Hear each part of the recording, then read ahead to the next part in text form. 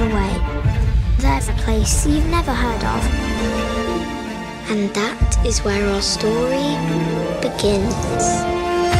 Please don't eat me! You has me wrong. You snatched me. Yeah, well, there you has me right.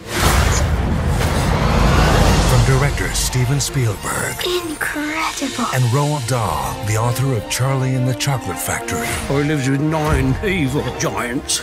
We have to stop them. BFG, I have a plan. Courage, It will take a leap of faith. imagination, and friendship Now try your foot! don't get any bigger than this. Hold your breath. Cross your fingers.